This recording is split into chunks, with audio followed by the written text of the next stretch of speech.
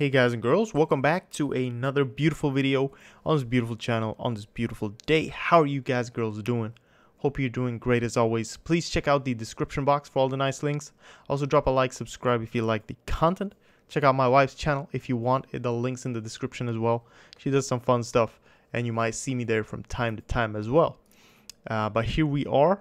Uh, I had a few questions. I had one one person asking me about the source code. Now the link in the description to the GitHub link, uh, in that link you should find another link which goes to simple SFML game. So you have to click that first and then you'll find all the source code.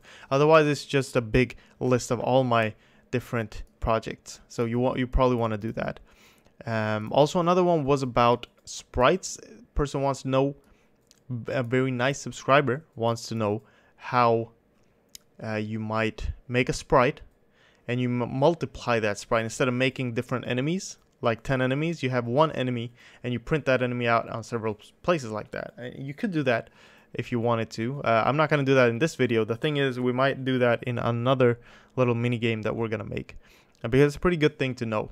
Uh, for enemies it might be tough because you want to kill a specific enemy. You don't want the same enemy everywhere. Uh, but yeah that that depends how you want to do it. But we'll we'll check that out as well in this video, let's run the game and let's see what we have done. Uh, what we have is we have a few of these spawning here. What I want to do is I want to make sure they spawn outside the game, anywhere on top, and they go downwards uh, towards our, our ship. That's pretty much how it's going to work. To do that, we need to go to where we're spawning the enemies. So we're pushing them back here. And in our game, we have access to our window. Uh, this is gonna be the y coordinate, so it's gonna be way outside. It's gotta be like minus uh, 100.f to be sure. But this randomness is gonna be from 0 to the screen width. So this window dot get size dot x minus I guess we'll we'll do that. We'll do that. That's fine. That's fine. Uh, minus 50.f. Uh, uh, minus 20.f. Just just to be sure they don't spawn completely outside. Uh, and then we are updating the enemies. Now we also want to make sure the enemies are removed as they come to the bottom of the screen. So I'm just going to copy this window that gets size. And I'm going to go down here if uh, this let's see uh, probably want to do that in a regular for loop. Let's make a regular for loop. Int i equals 0 i is less than this enemies dot size. Uh, like this plus plus i enemy update. Enemies update, good. Hopefully that will work, good. Then we're gonna remove enemy at, sorry about that, at the bottom of the screen. And it's a very easy check to do that. So we want to see if this enemies at position i dot get. Now we need to make a get position for this. This is a good thing that we're gonna require. Um, we might just as well make a get, make an accessor here. We might as well make a get, uh, uh what do you call it? Bounds, get bounds. Float rect, sf float rect, get bounds, const. There we go. Make that const as well good. And I, I found a nice way to way to do this. So you define this like that. Why is this complaining? Who are you? Oh, did I do it in the CPP file? Oh, my bad. My bad, my bad.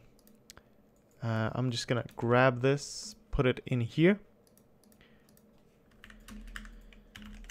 Accessors, boom. And then we're gonna Oh, it was defined already. I'm gonna define that up here then. good. Uh, very nice. Enemy. No. There we go. Okay, so now we can return the rectangle or the floating rectangle uh, bounding box around our enemy object. This sprite shape dot get global bounds. And the reason I didn't do a reference here, and I don't want you to do it, even in your future projects, uh, if you're making a function like this, because when this global bounds function returns the float rect from the actual shape, from the sprite, it returns a copy. So if you return a reference here, it's going to bug out and it's not going to really get the right values. It's going to crash because it's going to be a reference to a temporary temporary local variable right here. So uh, make sure you have a copy uh, because we usually do use references in our game. So it, it's not that strange if you would try to do that. Uh, but for here, this is good. So get bounds dot y. Good. Uh, uh, uh, uh, let's see. Get bounds, y. Or would it be top? Yeah, top is the y coordinate. So we're going to check if the y coordinate of the enemy is less or greater than, sorry, greater than this window dot get size dot y. Very simple. So if this is outside of the screen, we're going to erase our enemy. And that's exactly how we're going to do it. We're going to go ahead and do enemies dot erase. And this is how you erase something from a vector in C++. So you want to call the erase function, and then you want to give it the beginning of this erase, uh, uh, what do you call it, erase array. This enemies dot begin. I don't know, it's tedious. It doesn't really have a good function for us to use. Uh, but we're just going to do it this way. Begin plus i.